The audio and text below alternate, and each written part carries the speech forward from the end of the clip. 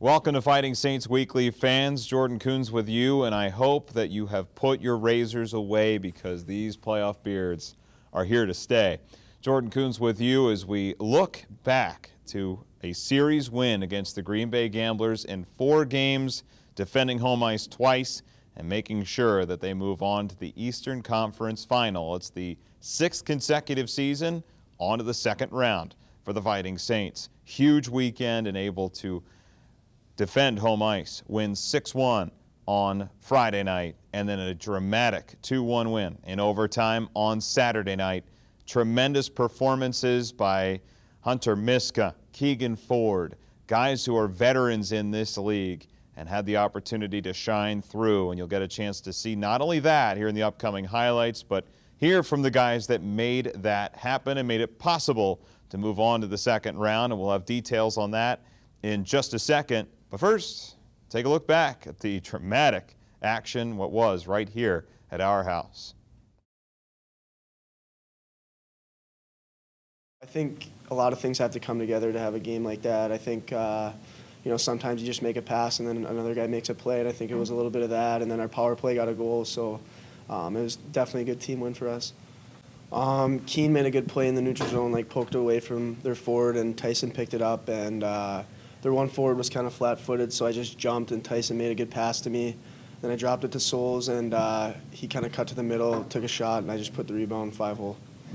I mean, the first one was just I kind of saw a loose puck up by the D, and I was able to have a good stick and had a breakaway. And I kind of prayed there. I mean, I saw that there was a forward playing D, so I kind of just chipped it behind him. And the goal, I also saw the goalie start to come out, so it kind of was a hope play, just kind of whack at it, and I saw the net was pretty much empty, so I just got a fortunate bounce there. Um, I saw Spencer uh, dump it in the left corner, and uh, I came off the bench, um, tried to make a move on the, the D man there, and then uh, kind of had an off angle shot, but uh, saw the D, uh, goalie coming over, and there was an open open lane, and then I took put it to the net, and somehow it went in. I really didn't know it went in until uh, I saw it actually out as I was coming behind the net. Um, I, I, saw the net go hit the puck go in the back of the net, and then I saw the teammates come rushing at me um, off the bench. Yeah, he shot from uh, I want to say like top of circle area, and the rebound went right out front to one of their guys. So I kind of just made a little uh, Superman diving save and uh, followed the puck all the way into my body, and luckily I made the save. It, I was a little bit uh, nervous that if I didn't have the stick there, those guys coming in on a two on zero like that. But uh, that was a huge help, and uh, hats off to Keegan for playing a big part of that situation. that's huge, and having a stick like that takes away the five hole and the guy tried going low blocker and made the save, put in the corner, and somehow they got another rebound in front. And Keegan was there back door just in case they uh, tried coming around the other side. Bloomington's a, a physical team. Um, we need to capitalize on our chances. I know we've uh, played them a couple times in the season, and uh, they like to get under our skin, and we got to keep our cool and stick to the game plan. Oh, they're a really good team. They're really hard on pucks, and uh, they like take the body a lot. So I think uh, we just need to play our game, follow our systems, and just we got to be quick and uh, got to get their D going in, into their end and uh, turn them around. And uh, we got to use our quick feet and attack their goalies. Oh, we're just going to need everyone to play their best. Every line's got to be going, every D pair, our goalies. If we just stick to our game plan, our coach has done a great job pre-scouting them, so we know what to expect. So if we play our game, we'll be we'll be fine, I think. Yeah, especially with home ice here, we want to set the tempo right away, try and take advantage of it, and then um, hopefully get a couple wins and then go take care of business in Bloomington. I think the mindset's just stick to what works for us, uh, keep working hard, and we'll be fine.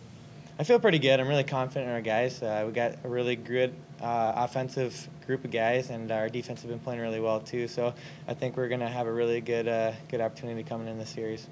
Up next on the docket is the Bloomington Thunder, the number four seed in the Eastern Conference. After winning in Game 5 against the Cedar Rapids Rough Riders on the road, they were the best road team in the entire USHL, a team that is not to be trifled with when they're wearing the white sweaters. They're a fantastic team in terms of their ability to execute a size type game. They're a big team that likes to get the puck deep and work it from there. And that's how you win road games. You keep it simple, you get it done that way. The Fighting Saints won three of the four games against the Bloomington Thunder this year. As we saw, it helped them against Green Bay with a, a, good regular season record, but that is not all that is said and done. Bloomington has been outstanding down the stretch. They had to be to create separation from Youngstown latter part of the season, and they'll be the opponents in the Eastern Conference Final.